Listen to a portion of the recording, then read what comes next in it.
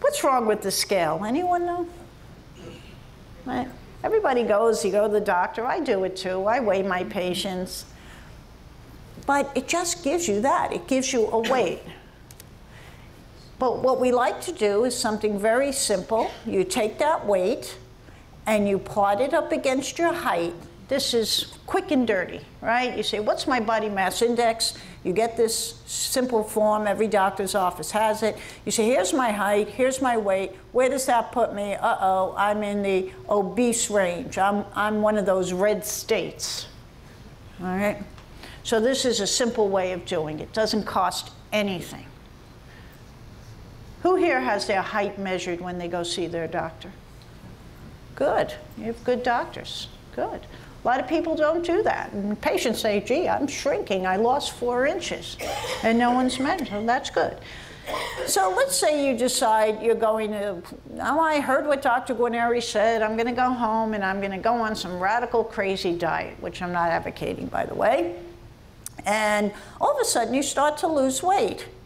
Well, you can lose, both of these women have lost weight and they can weigh the same thing on the scale, but what's different is their body composition.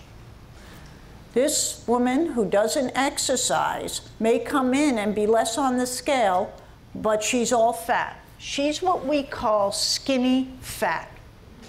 Skinny fat is real and it's worse than someone who's overweight but fit. So skinny fat, this is the person who'll come and say, you know, I lost 15 pounds and I can't lose another pound. Why? Because they lost what? Muscle, exactly. Now this woman says, I'm going to go exercise, I'm going to yoga class, I'm doing everything I need to do. She's going to gain muscle and have less fat. The only way you can tell this really is with the body composition. And I think it's important because I have people who get a little discouraged. They say, you know, my pants fit differently and I feel differently, but the scale isn't moving so much. And I said, let's do a body composition and let's see what's going on. So not only can you measure uh, how much fat someone has, you can also measure a basal metabolic rate. Not everyone has the same resting basal metabolic rate. Some people, you know, you, you probably know people that they can eat everything and continue to be thin they have a really fast basal metabolic rate. Some people look at food and gain two pounds. Right? So we can determine who you are.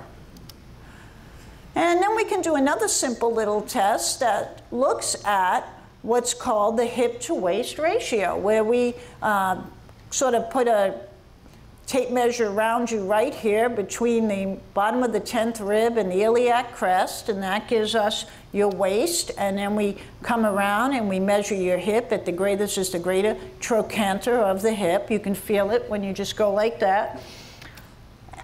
And this is why it's important. That simple little cost nothing test, the waist to hip ratio, if you're a guy and it's greater than 1 or a woman and it's greater than 0.85, you are at high risk. So this is where we start to talk about people looking like apples, right? Do you look like an apple or do you look like a pear? I know in the, my Italian family, everyone looks like a pear. That's less, but it's actually less risk. It's the apple with more visceral adipose tissue that places you at a higher risk.